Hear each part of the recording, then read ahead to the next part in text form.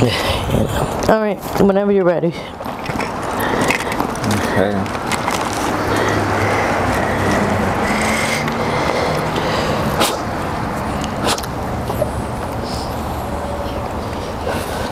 So vape. Hey, what's up guys? We out here in a new location somewhere beautiful. Not a lot of disturbance. And we got the one and only Kathleen. Hi guys. How you doing today, Kathleen? Good. That's great to hear. You want to give an update to our Um, family? I'm still in the recovery house. I just did, got done a job interview at Wawa. Um, that's pretty much it. I mean, yeah, I'm making meetings daily. So, you went and applied for a job today, and by the, by God's grace, you're gonna have that job because you have Hopefully. people who who's behind the scene that's let's go, you know, make that happen for you. yeah, So Friday is the big day. They they're calling people back. So right. let's pray for our girl Kathleen to get called. Fingers crossed. Fingers crossed. Yes. So how has life been for you since the last update? Um, it gets better and better every day, I guess, you know. Better and better. How many months off drugs are you now? Six. Congratulations. Thank you. Thank you. You notice any change in yourself from then to now? I guess a lot. I mean, I wasn't really living then. I was just existing. I live now. You know, I laugh every day. Um, I'm building a relationship back up with my sisters and my daughter. That's great to hear. Sure, she missed you a whole lot, and she don't want you to leave once you go back in her life again. No, no. I might be able to go see her for Halloween. My sister said. So By God's grace, right? yeah. What do you want to say to all? Before we go any further, you know, there's a lot of people who just tuning in. A lot of people haven't gone back into my catalog to, to see your previous interview. Give those who don't know who you are a quick backstory on, on you. Uh, my name is Kathleen. Um, I was in Kensington for a couple years, getting high. Um, I've been clean for six months. I went to rehab. I was also clean last year for six months, but um, you know, I'm just a recovering addict, I guess. You know, rebuilding my life. I moved out of the city. I don't like the city no more. Switch location because that spot doesn't, the light is not hitting me too well. Okay, yeah, let's get back to what you said. Uh huh. You was in Kensington. For a couple years. and Couple on. years. Yeah, yeah. What was your experience like out in Kensington? Horrible, horrible. It's horrible down there. I feel bad for the people stuck out there still. You know, it's possible. Anybody can get it if they want to get out, you know. Um, it's hard. Like, you go to rehab, they put you in a recovery house, give you like a two week scholarship, and then you start paying rent. But you can also get funding. Like, I was funded in, in the Philly, I but I didn't want to go where they wanted me to go. They wanted me to go like right by Kensington, so I chose to go to a house that I pay at. Um, I can now get county funding up here, I think, because now I'm from up here.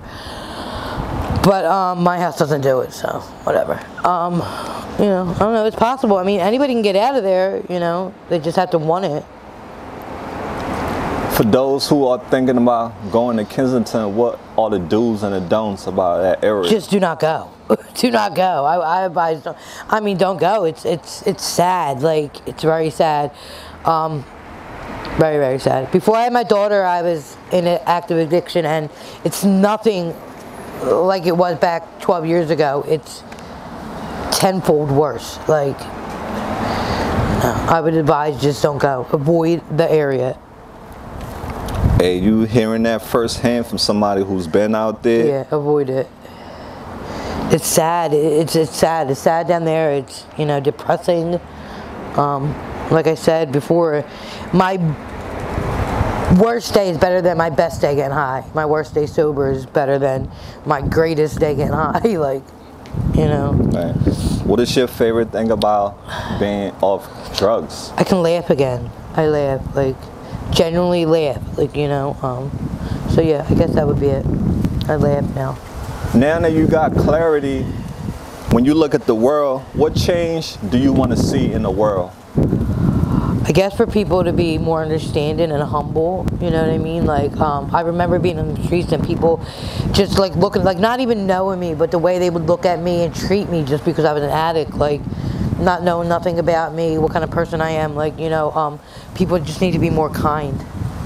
Yeah, they need to be more kind. Treat others as you want to be treated, regardless of the situation. Like, Absolutely. You're 100% right. So, what's the hardest thing about being off drugs for you? Um, I don't know. Um, I, I guess just like learning to like be a normal, productive member of society, like maintain a job. You know, I have to maintain a job. I have to pay bills. Um, I, I don't know. I mean, like it's not. Even my worst day sober is better than getting high, any day getting high. So, you know, um, that's yeah. Right, right. You know, me and you had this conversation before, and I always say that you are you sure you're not going to return back to the black hole of Kensington? No, no, no. I don't want to. In Jesus' I mean, name, right? In Jesus' name, never say never, but no. I I know how to be clean. I was clean before. yeah, let's. Train. I've been clean before. I've had six years and eight months sobriety before before I relapsed. Um, you know, I don't really. I was clean for like six months last year, but I don't really count that. So, prior to that, I was clean for six years, eight months. Like I know, you know, there's a better life out there. You know what I mean? Like it's bad. It's bad down there. Like you're just existing and doing whatever you have to do to get the next one. It's not fun. Right, right. You know. So how is your sober living experience like? What are the good and the bad about? I mean, well, I guess it's good you build relationships with these ladies in the recovery house, but it's hard because we have like 14 different personalities. You know, I'm thankful I got a two-man bedroom, but we have six men bedroom, which is terrible. I don't. I'm actually the only one in a two-man bedroom. I'm in the only two-man bedroom, but you know, I guess just like um, learning to coexist with all these different personalities. You know, um, I don't have to like you; it just has to be cordial. You know, but I, I built I built um, a couple good friendships. You know what I mean? Good friendships. Like my my um, my roommate from rehab is here. She's a very good friend of mine. Um, my roommate is amazing. Uh, and there's a couple good like you know girls in the house like I generally like and like I would hang out with the outside the recovery house. That's great. So what's your short-term goals now? Um, well, I hope I land this job. Um, you know, just I guess maintain it. Like I, I, I want to move eventually, but I want to be working at least six months before I even attempt to move. Um, you know, and then just eventually get my own spot. I don't think I ever want to go back to the city again, though. Right. Even though my daughter, she's in the city, she's in a very nice part of the city by the suburbs. I don't want to live there no more. How are you maintaining your recovery? Um, well, we do two house meetings a week, and then we have to do outside meetings five days a week. So I make meetings. Um, I go to my, I talk to a psychiatrist via Zoom, um, and I make my doctor's appointments. I guess you know. That's great. Yeah. And we talked about also doing something for the women that's in your house, starting this little, you know, this little project where we interview them and let them Yeah. know they're not alone, you're going to be in charge, in charge of that. Because I'm sure these women that's living in these places with you, they they feel alone sometimes, right? Yeah, absolutely, absolutely. We have a lot of old people there. I mean, a lot of old people, but yeah, They need, they matter too. Everybody. Abs- everybody does. Everybody does. Everybody matters. Can you please share some some motivation to our brothers and sisters who are watching this video and who are struggling? Can you share some motivation with, with I mean, listen, nobody was worse in Kensington than me. That I mean, if you go down there now, people still everybody knows me. You know, uh, nobody smoked more crack than I did, and you know, I'm not proud to say, but if I can change, anybody can change. You know what I mean? Um, I, I mean, I, I met people that literally thought like I was gonna live and die down there, and I would never get out of there. You know, um, for a period, I didn't think I would ever get out of there, but you know, it's possible. Like go to the crisis center, go to the PAL center on, on Allegheny Ave, and get into rehab. And you, you know, it's getting cold. It's hard in the wintertime down there. You know what I mean? It's not the same. Um, it's dangerous. Like, you can do it though. If I can do it, you can do it. for, for, by sure. You know what I mean? for Right, sure. If. I can do it, you can do it. That's great news, guys. Yeah. You, you heard it from Kathleen. You guys been on a journey with her, and we want to Yeah. tell everyone thank you for believing in her, and we want to tell her thank you for believing in herself. So, how much do you pay every month for your rent? Uh, I pay 165 a week, which comes out to like 660 a month. Uh, 660 a month. Yeah. Right. and you know but um, this recovery house like i was in a recovery house in philly last time um, right by kensington they provided food and stuff but here doesn't you provide your own food your own toiletries your own toilet paper everything and then you pay 165 a week you know Right. So, guys, you know, I'm going to put Kat, Kathleen Cash App on the screen. Also, going to put her Venmo on the screen, and all her, you know, information. That way, we can continue to help Yeah. her because she still need us pushing her because she's got a long way to go. But we are proud Yeah. of how far she have come so far. shout out to mary packer i love mary and christina paulus they're very and deb mccall Pull out some of your jewelry. Let's see. uh, i have a couple with it. me um, Yeah, Kathleen is going to give me some more bracelets for me to take to Kensington. yeah Thanks but i have a couple for you to take now but Yes. So talk about your bracelet and how do people order it from you? I don't know. They can Facebook me, email me. Here goes a couple. I have more, but take here Okay. goes some, just so you can see them. Right. Um, You know, you pick out your own colors, whatever you want. See?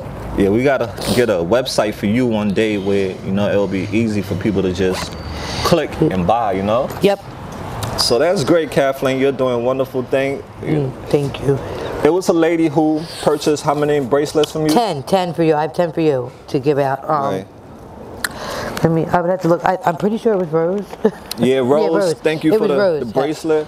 The last time I, I saw her, we forgot about the bracelet. right, but I have them today to give to you. Yeah, so. she got something to give to me today, and you know I'll pick up the rest from her this coming next week. I'll get some more stuff from her.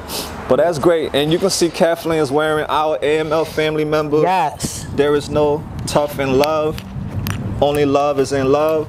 So if you want to order this shirt, we really appreciate your support. You know that's helped to go back to the the struggle. Yes. for us They're to- unisex shirts. Is a medium. So. Right, right. So you got plans for the rest of your day, Kathleen? Um, I don't know. Go back to the recovery house. Um, I wash to do, and then what's today? When oh, I have to make a meeting. What's Wednesday? I have to write an essay. We have to write essays every week at this recovery house. Um, yeah, that's it. Okay. Well, Kathleen, thank you so much for this lovely update. It's a really positive one, and we are all happy that you're on the right path to, you know, building a better life for you and your daughter. And we'll continue to be here with you on this journey. We're not leaving you. All right, Thank we're in you. this together. You have any last words you want to say to all your supporters out there? Um, just thank you, everybody. I love the AML family. You know, you've helped me tremendously. I don't think I would be where I'm at today without you. You know, um, it was easy to get into rehab. The hard part is after you go to rehab, and you have helped me so much. Awesome. Okay, guys, you heard it from the lady herself. We'll pray that she get that job. She already got it already. You Hopefully. Know, so Hopefully. she'll be on the clock pretty soon. Hopefully. yeah, she got it. So, guys, that's it for us from now. For now, I mean, and we'll continue to follow our girl. So remember, guys, don't be bitter. Be better. Be better. Until next time, AML Films, we out there. Peace out.